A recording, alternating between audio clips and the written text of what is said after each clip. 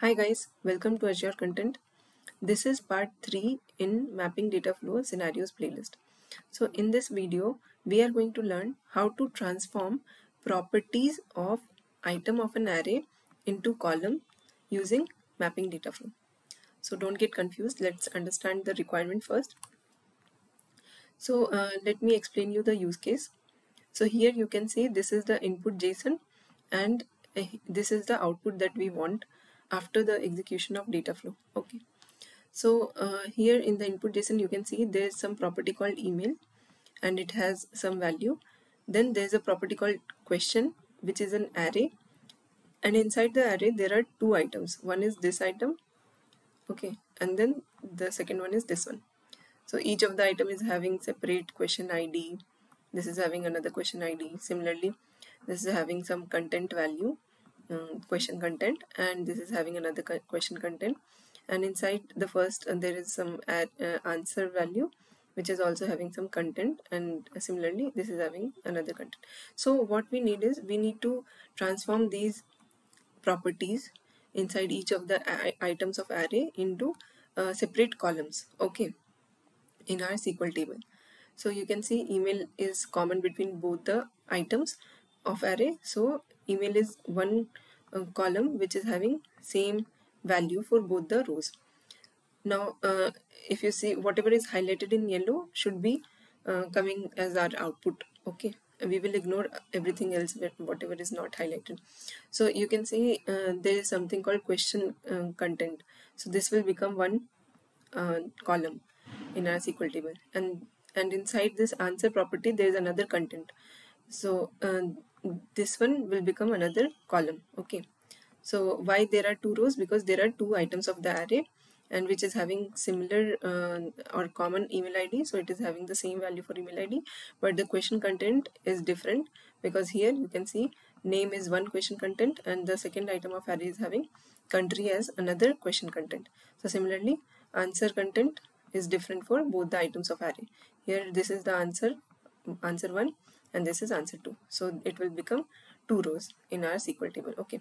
So this is how uh, we want to have our output. Okay. Or uh, in our SQL table. So how we will achieve this using data flow? Let's uh, start designing our data flow. Okay.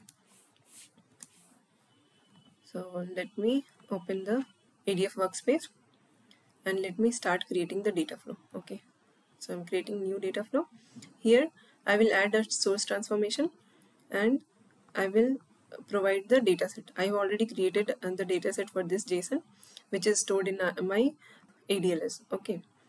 So uh, you can see it is stored in as a blob in my uh, storage account and that's what I'm pointing to and if I preview the data you can see the same content is here okay so now first thing what we need to do is we need to check what is the type of JSON. Because in the source transformation in this source option tab if you go down there's something called JSON setting. So here you need to select the document form okay where we need to choose whether your file contains single JSON or multiple JSON separated by lines or in array format okay.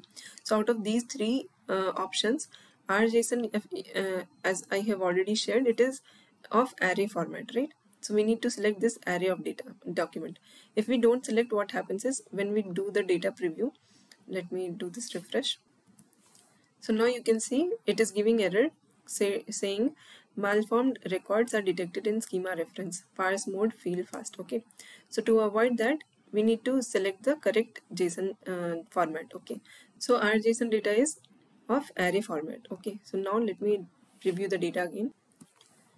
So it got refreshed and you can see it is having similar content what we have in our source json. Okay it is having email id and this uh, question array which is having uh, two items right? Question one and then question two.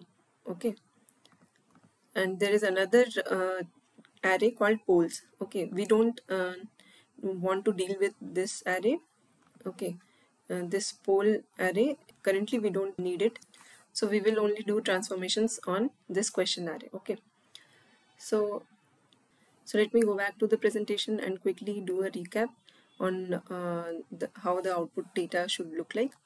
So so here you can see there's an additional column called id which is not there uh, as a property in this json. Okay. So we need to introduce this particular column called id okay. So we will talk about this later first let's see how we we can achieve these three columns which are present in our json uh, source data okay? So you can see email is already present and it is coming in uh, our uh, uh, data preview as well. So we don't uh, need to do anything with this one. Now coming to patient content and answer content okay? So um, basically what we want to achieve is nothing but flattening of data.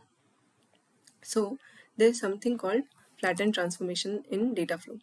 So what it does is it takes uh, array as the input here in unroll by option.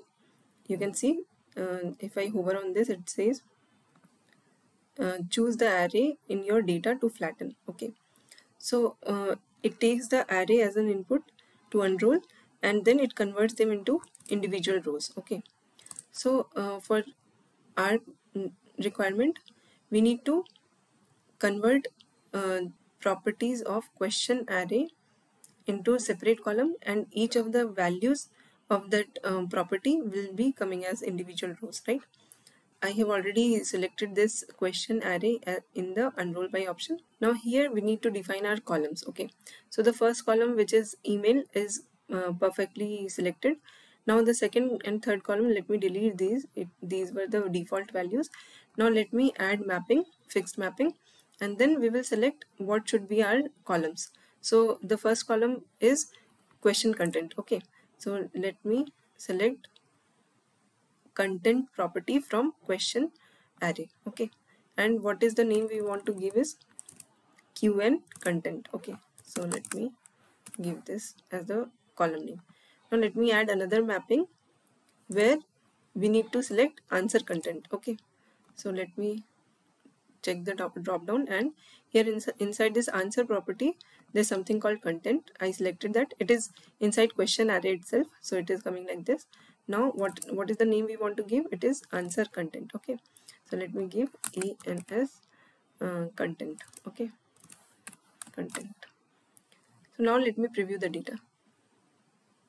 So now you can see email question content and answer content are coming as three columns after flattening the data. So going to presentation so we can see and the data looks good uh, for these three columns. Now the only thing we need to do is we need to add this uh, additional column. Okay. So how we do that? Uh, so the, this concept is similar to what we have uh, in SQL called uh, identity column. So let me just explain you with a simple example. In SQL uh, there is a concept of identity column what is identity column? It is nothing but an auto incremental kind of column for which we don't need to explicitly provide any value. Okay when we insert rows into the uh, table we don't need to explicitly provide any value for this uh, identity column. Okay so based on um, seed and increment value it auto generates the data for uh, that particular column. Okay so let me create this table so it got created where id is an identity column for which we are not going to insert any values. So let me first insert one value. Okay, so one row got affected. Let me uh, let me run select star from table. So here you can see uh, because our seed value was 1000 which is the starting value for the uh, identity column so 1000 came as the id value okay now 5 is the increment value so if we insert any other record, uh, the next record will uh, have ID which will have value uh, 1000 plus 5. Okay, so 5 is the increment value means by what number this ID column will have an increment. Okay, so let me run this and let me show you the data again. So here you can see first ID was 1000, the second ID is 1005. If I insert another row, let me give A3 and b3 let me insert it again. Now if I select you can see so it automatically took ID as 1010 which is uh, 5 greater than the previous value. Okay this is how identity column works. Now going back to our data flow.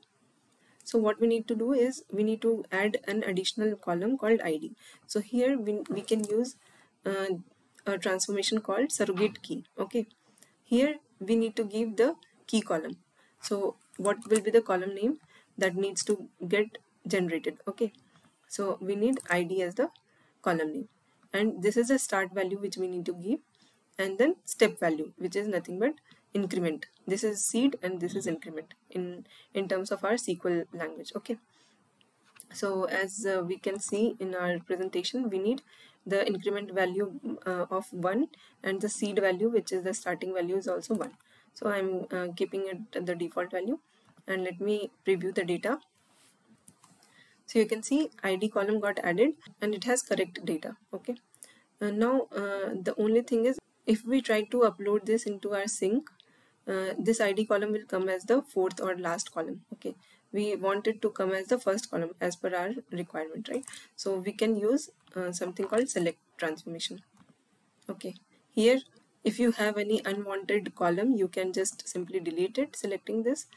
Or if you want to add some additional column you can uh, create this fixed mapping or rule-based mapping. So what we want is we want to just uh, change the order of the columns right?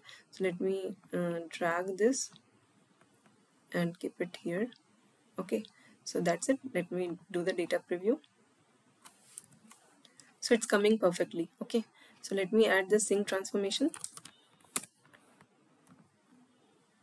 and select the uh, table from SQL okay. So here our table should be loaded with the name uh, Q&A content. Okay. Uh, that is not present in MySQL but uh, when we run this data uh, flow it will automatically create that table. Okay. So let me create a pipeline. Okay. And just call that data flow and run it so the data flow execution has been completed. Let's go to the SQL and let me hit refresh on the tables. Okay so this table got uh, created. Let me see the content of it. So uh, it looks good right? Uh, if we compare with the desired output. So id is the first column which got generated with the help of surrogate key transformation. Then email uh, it has common values for both the rows. Then q and uh, content which is nothing but question content. It is coming perfectly. First one is name uh, and the second one is country. Okay? So this is what we needed. And answer content it is uh, the first one is Annu and the second one is India. So it is also coming perfectly. So that's it for this uh, video guys. I hope you like uh, like the uh, content. And please keep supporting this channel. And Uh, please subscribe if you haven't done it yet. Okay. Thanks. Please stay tuned